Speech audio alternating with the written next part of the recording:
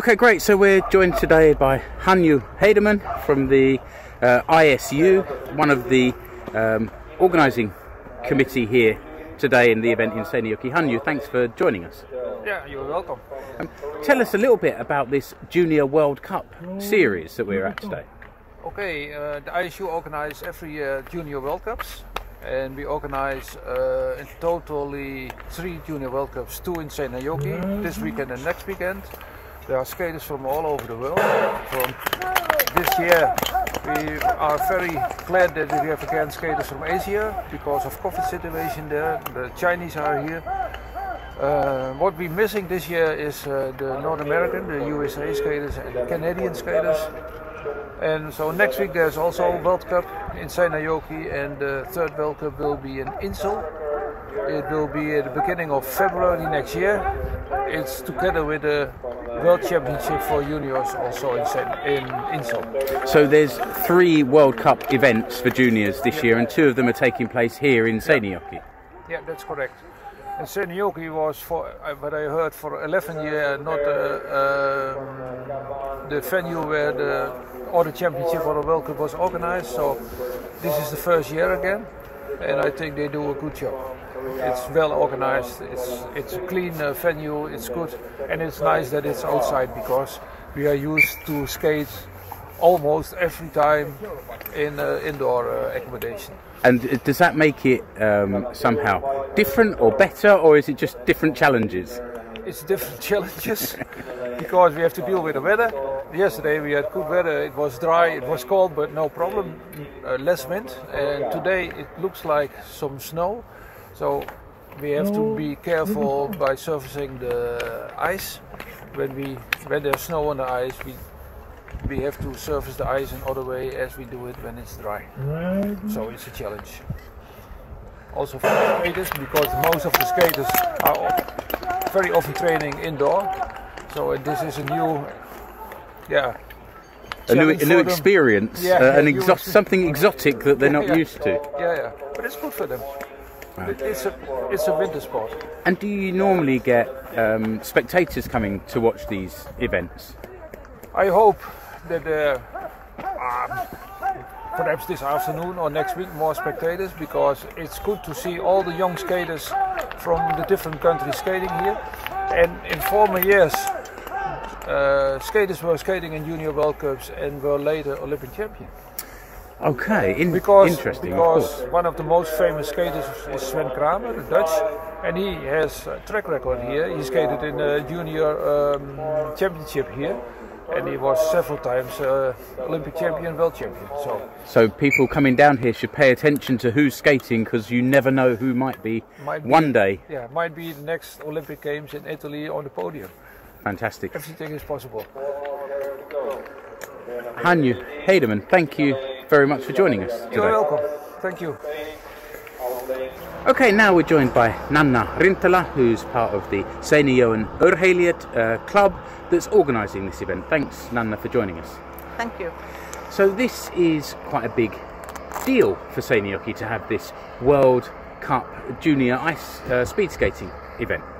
Yes, it really is. We have uh, athletes from more than 23 countries, over almost 200 athletes, and uh, actually, this is the biggest uh, Junior World Cup event ever, I guess. Maybe it's after the COVID years that everybody is now finally coming here, and it's a big thing for the city as well. We have athletes staying for uh, almost 300 athletes staying uh, over two weeks here because there are two consecutive week- weekends. Yes, so if people see uh, athletes out training from different from different countries, maybe running around the town and, and keeping fit, that's why because you've you've got these people from all over the all over the place coming here for this uh, for these events. Yes, exactly.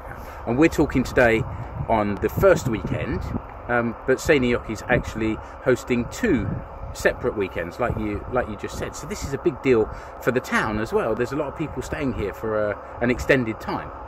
Yes, it really, really is, and and uh, we have had a lot of support from the town in organizing this, and also we are organizing it together with the Finnish Speed Skating Association, so we get help from from there, and also the Finnish um, or the Seinäjoki, the local clubs for figure skating and ice hockey. They are doing their share. Yeah. So what what have the other the other clubs and associations done to to help you with this? Well, you know, we have just so many dressing rooms, just so many facilities, and and bringing suddenly 300 people for for a long competition days, and also for the training during the week. You know, they have given their rehearsal times, and they are putting their game calendars off, and and you know pitching in in that way. It's so it's wonderful. a real a real cooperation between all the different all Really, the different clubs really. in, in the area, which is which is great to hear. And this is a spectator event, so now I guess you need the rest of Seinäjoki and the surrounding area to to join in and, and make this a real a real event. Yes, it's really a rare opportunity to see speed skating in this way here because these youngsters from 16 to 22, so almost, you know, grown ups actually, uh, they are and they will be the best skaters of the future, and some of them already are. So you have a possibility to see world class speed skating, and speed skating is a wonderful spectator sport. So, what I would like to have now is to have the audience here And, and Seinäjoki is known as a, a town that hosts many different events throughout throughout the whole year, and they have people attending. So let's let's get people here supporting you, your your partners, and these young athletes to you know to be able to skate in front of a crowd. That would be great. I know it will be such a different atmosphere with the crowd. And we have free entry, and next weekend we're also giving out free sausage. Now, if there's anything guaranteed to get people to your event, I think free entry and free sausage is the way to go. Nanna Rintala, thank you very much for joining us. Thank you and welcome. Okay, now we're very privileged to be joined by Pekka Koskela, um, who is a local speed skating hero, let's say. Pekka, thanks for joining us today. Thank you. It's nice to be here. So we're on your home your home track.